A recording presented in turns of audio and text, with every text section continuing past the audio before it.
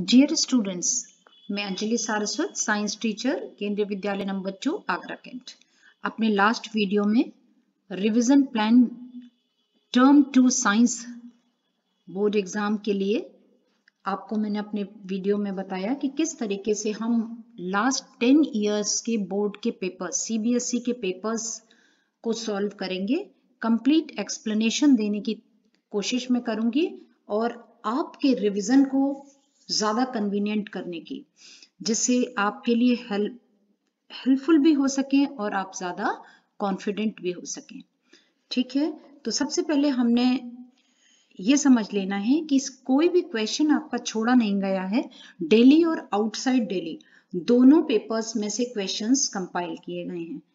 Marking scheme में जो original CBSE के दिए हुए मार्क आंसर्स हैं, उन्हीं को लिया गया है। ठीक है?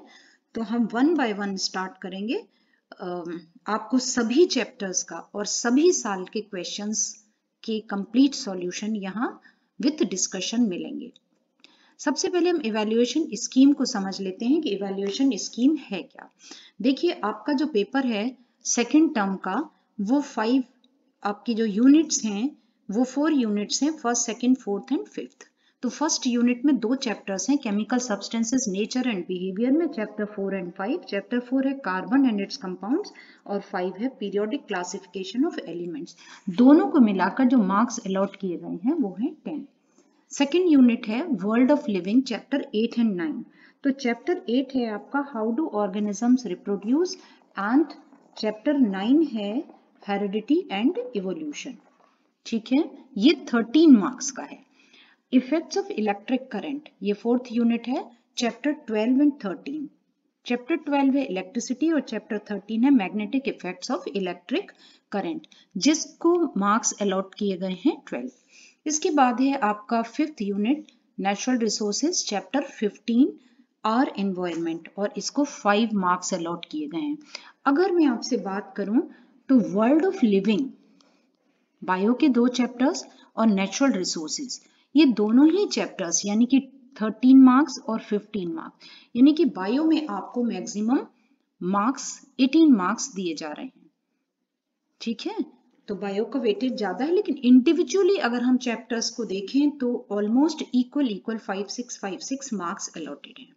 ठीक है? इंटरनल असेस टोटल जो आपका पेपर होगा, वो 40 मार्क्स का होगा 10 मार्क्स इंटरनल असेसमेंट के होंगे और टोटल 50 होगा। जो बोर्ड का पैटर्न है, उसका सैंपल क्वेश्चन पेपर आ चुका है और उस क्वेश्चन पेपर का लिंक भी मैं इसमें दे दूँगी। अगर आपने नहीं अभी तक उस वीडियो को देखा हो तो उसको भी आप पूरा सॉल्व करिएगा मेरे साथ। अब हम यहाँ पर छोटी सी एक बात कर लेते हैं। ये इतना कंटेंट चिल्ड्रन, मैंने हर अपने वीडियो में ऐड किया हुआ है, जिससे हर बार आपको ये ध्यान रहे कि इस चैप्टर में क्या इंक्लूडेड है और क्या इंक्लूडेड नहीं है। सबसे पहले हम देख लेते हैं chapter four, carbon and its compounds. इसमें page number sixty seven last तक है, लेकिन बीच में ये डिलीटेड पोर्शन है, ठीक है? यहाँ बात हम कर रहे हैं डिलीटेड पोर्शन की। यानी 67 पेज तक लास्ट तक डिलीटेड है, लेकिन उसके बीच में आ रहा है होमोलोगस सीरीज़ जो बहुत ही इंपॉर्टेंट है और ये इंक्लूडेड है। इसी तरीके से चैप्टर नाइन हेरिडिटी पर आते हैं। यहाँ पेज नंबर 147 से लास्ट तक डिलीटेड है। ध्यान रखिए डिलीटेड पोर्शन है ये। Chapter 13 magnetic effects of electric current इसमें पेज नंबर 236 से लास्ट तक डिलीटेड है। और जो चैप्टर्स यहाँ मेंशन नहीं है, वो कंप्लीट आएँगे, ठीक है? So let's start with the revision of question paper of CBSE 2020 जो लास्ट बोर्ड हुआ है, उसका पेपर हम करेंगे। और यहाँ पीरियोडिक टेबल इसलिए आपको दिखाई गई है कि जिससे बार बार जो क्वेश्चंस आएँगे वो आपको मैं यहाँ से बता सकूँ। देखिए क्वेश्चन के साथ ये भी लिखा गया है कि कितने नंबर का क्वेश्चन है वन मार्क का। अब एक चीज़ मैं आपको और क्लियर कर दूँ, जो अब सैंपल क्वेश्चन पेपर सीबीएसई ने दिया है, उसमें वन मार्क के questions included directly one mark के नहीं है। लेकिन जैसे थ्री मार्क्स का क्वेश्चन है तो उसमें थ्री क्वेश्चन हैं वन वन मार्क के, या केस स्टडी है तो उसमें भी वन वन मार्क के हैं। तो इसलिए मैंने कोई भी क्वेश्चन छोड़ा नहीं है आपके लिए। तो डिफाइन इलेक्ट्रोपॉजिटिविटी फ़र्स्ट क्वेश्चन ले लेते हैं 2020 के ही हैं सारे। आउट ओडी का मतलब है आउटसाइड दिल्ली ठीक है? तो व्हाट इज़ इलेक्ट्रोपॉजिटिविटी अब यहाँ हम बात समझ लेते हैं कि electropositivity is the tendency of an element to lose electrons and form positive ions in a chemical reaction reaction word यहाँ रह गया, उसको लिख लीजिए। ठीक है? आपको पता है कि मेटल्स जब रिएक्ट करते हैं तो आयोनिक बॉन्ड बनाते हैं और इलेक्ट्रॉन डोनेट करते हैं। यानी कि इलेक्ट्रॉन लूज होता है और जब भी इलेक्ट्रॉन लूज होता है तो पॉजिटिव चार्ज आता है। तो इसको हम, ये बन गया सोडियम आयन। सोडियम तो इलेक्ट्रो पॉजिटिविटी क्या है? इट्स अ प्रॉपर्टी और it's a tendency of an element to lose electrons and form positive ion is it clear जैसे सोडियम को थोड़ा और मैं इलेबोरेट कर देती हूँ। सोडियम का एटॉमिक नंबर होता है 11 इसका इलेक्ट्रॉनिक कॉन्फ़िगरेशन करें तो 281 यानी कि ये जो वन इलेक्ट्रॉन है, ये डोनेट होता है और आयोनिक बॉन्ड बनता है। नेक्स्ट क्वेश्चन ले लेते हैं। Question number two the atomic radii of first group elements are given below. This question is also for one mark. Outside delhi का क्वेश्चन है। ग्रुप वन में हम देखते हैं sodium potassium rubidium and caesium atomic radii दिया हुआ है आपको 86, 231, 244 और 282 state the reason behind the observe trend in the above elements ठीक है? ये देखिए, यहाँ आपको एक खास चीज़ दिखाई दे रही है, सोडियम, पोटेशियम, रुबीडियम, सीजियम। यहाँ से हम बार बार मैं आपको पीरियोडिक टेबल बार बार दिखाऊँगी, जिससे आपको आसानी से याद आ जाए। ये देखिए, सोडियम, पोटेशियम, रुबीडियम, सीजियम। ये है आपका फ़र्स्ट ग्रुप। और फ़र्स्ट ग्रुप के ये एलिमेंट्स हैं, और जो ग्रुप नंबर होता है, वो बताता है कि उसकी वैलेंसी क्या है। तो इनकी सबकी वैलेंसी वन है, जैसे मैंने सोडियम की अभी अभी बताई। लिथियम की अगर हमें, हम लिथियम की लें तो लिथियम की वैलेंसी एटॉमिक नंबर है थ्री और उसकी वैलेंसी हो गई टू वन। तो अब देखिए, हम नीचे की ओर आ रहे हैं, डाउनवर्ड आ रहे हैं ग्रुप में। और ग्रुप में जो एटॉमिक रेडियस है, वो बढ़ रहा है। तो क्या वजह है? क्या वजह है? इसको ऐसे समझिए कि सोडियम नीचे जब हम आते हैं और वैलेंसी सेम रहती है, इसका मतलब क्या है?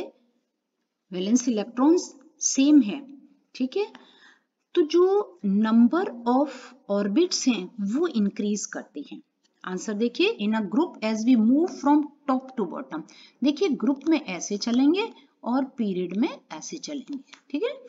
Top to bottom the number of shells increases ये चीज़ बहुत इंपॉर्टेंट है। पहले जैसे मैंने कहा लिथियम। लिथियम का इलेक्ट्रॉनिक कॉन्फ़िगरेशन है थ्री तो यहाँ आपके फ़र्स्ट ऑर्बिट में टू इलेक्ट्रॉन्स आ गए। एक को समझ लेते हैं और इसमें आ गया वन मान लीजिए सोडियम सोडियम का है कितना? इलेवन तो फ़र्स्ट ऑर्बिट में आ गए टू इलेक्ट्रॉन सेकेंड ऑर्बिट में आ गए आपके एट इलेक्ट्रॉन एट इलेक्ट्रॉन्स और थर्ड ऑर्बिट में टू एट वन फिर वन इलेक्ट्रॉन आ गया। देखिए, पहले ऑर्बिट हाइड्रोजन में अगर हम जाएँ तो वन ऑर्बिट है, ये टू ऑर्बिट्स हैं, ये थ्री ऑर्बिट्स हैं तो ग्रेजुअली ऑर्बिट बढ़ रही है। और जो रेडियाई है, वो रेडियाई क्या होती है कि न्यूक्लियस से लास्ट ऑर्बिट तक के डिस्टेंस रेडियाई है। ठीक है ना? तो ग्रेजुअली जब हम डाउनवर्ड आते हैं तो एटॉमिक रेडियाई इंक्रीज होती है। आई होप कि समझ में आ गया होगा आपको। क्वेश्चन थ्री ले लेते हैं। How does valency of element vary across a period देखिए, जब भी बात पीरियड की आई तो आप मन बना लें या वहीं पर पेंसिल से निशान लगा लें कि मुझे ऐसे बात करनी है। ठीक है? तो वैलेंसी किस तरीके से वेरी करती है? देखिए, जब भी पीरियड में हम चलते हैं तो valency of an element first increases and then decreases across a period पहले बढ़ती है, फिर कम होती है। इसको देख लेते हैं, फिर से पीरियोडिक टेबल पर आइए। मैं हर क्वेश्चन के साथ लगभग आपको पीरियोडिक टेबल की बात करूँगी।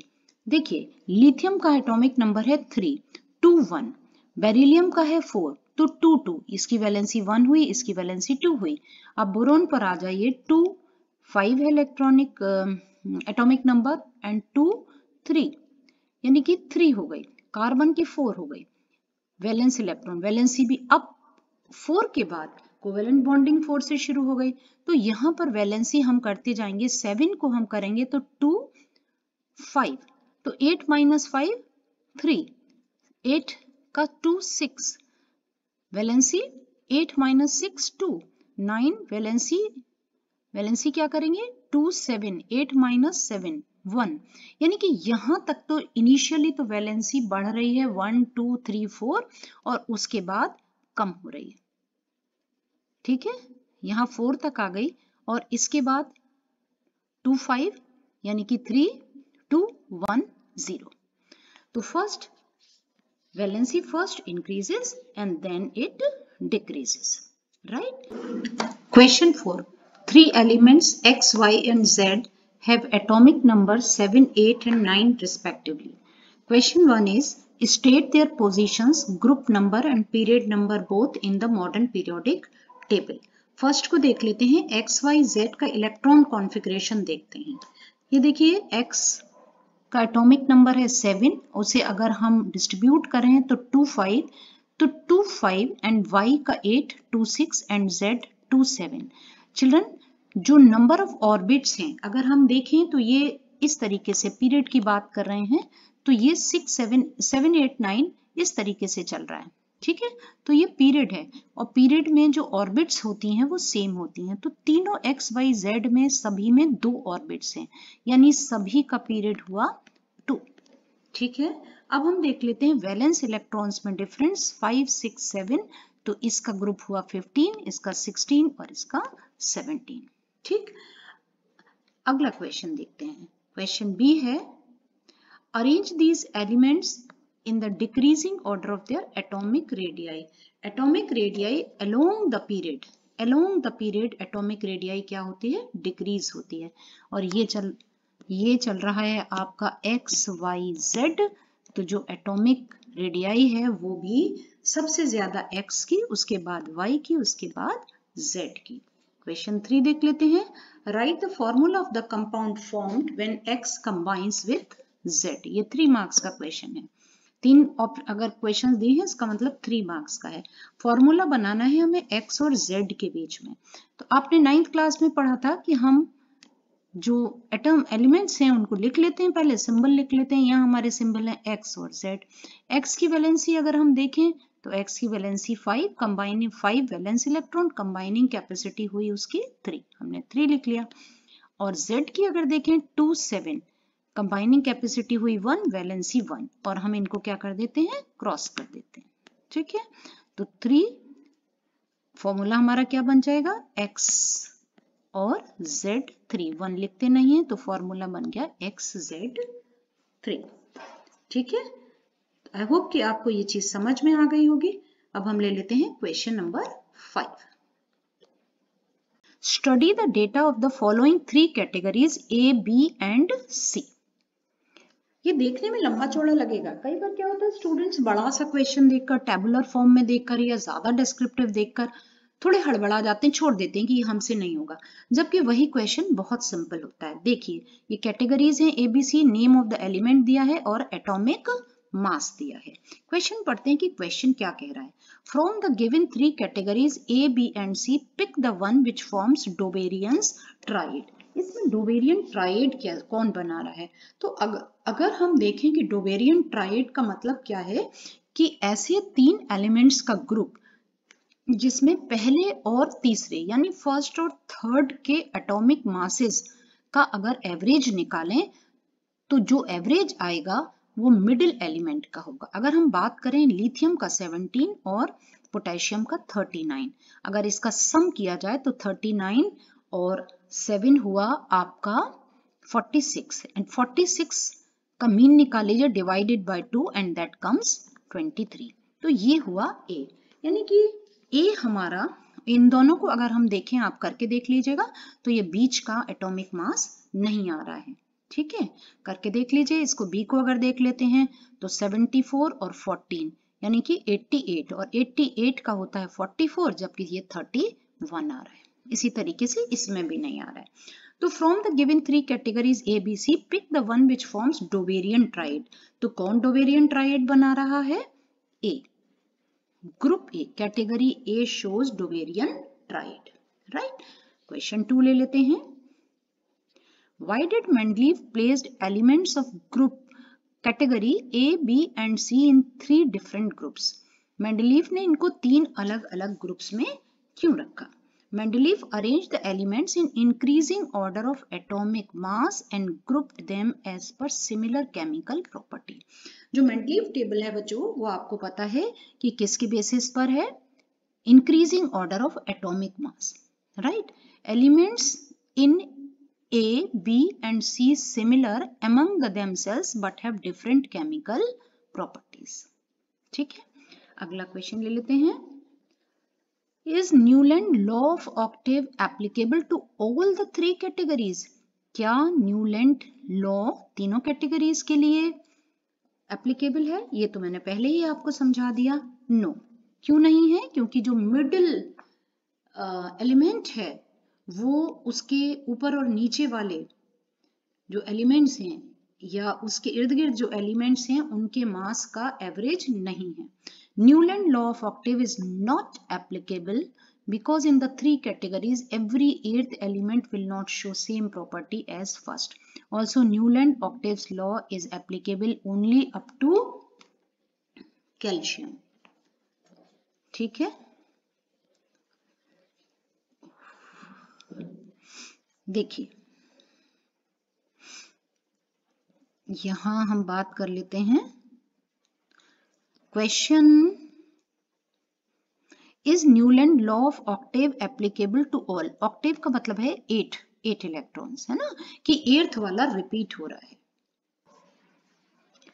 answer is no Newland law of octave is not applicable because in the three categories every eighth element every eighth element will not show same property as first ठीक है eighth element को property show करनी है और वो possible नहीं हुआ। Question six ले लेते हैं। Define atomic size give its unit of measurement मैंने पहले भी आपको एटॉमिक साइज़ बताया। In the modern periodic table ठीक है, पहले डिफाइन एटॉमिक साइज़ ले लेते हैं। The distance from the centre of nucleus यह भी मैंने पहले भी बताया था आपको। The distance from centre of nucleus to outermost shell of an atom is atomic radius और अगला इसी का पाथ है क्वेश्चन का। In the modern periodic table, what trend is observed in the atomic radius in a group and in the period and why it is so? देखिए, फिर से इसको समझा लेते हैं।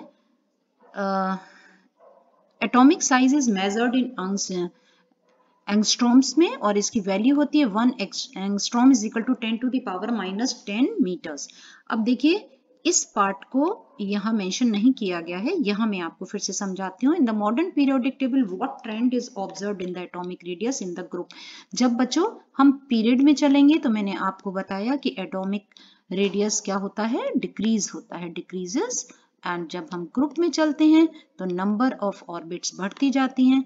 इसलिए ये हो जाता है इंक्रीजेस ठीक है? इज़ इट क्लियर तो आई होप आपको ये चीज़ें क्लियर हो गई होंगी ये चैप्टर um, 2020 में इतने ही क्वेश्चंस थे दिल्ली एंड आउटसाइड दिल्ली के लिए.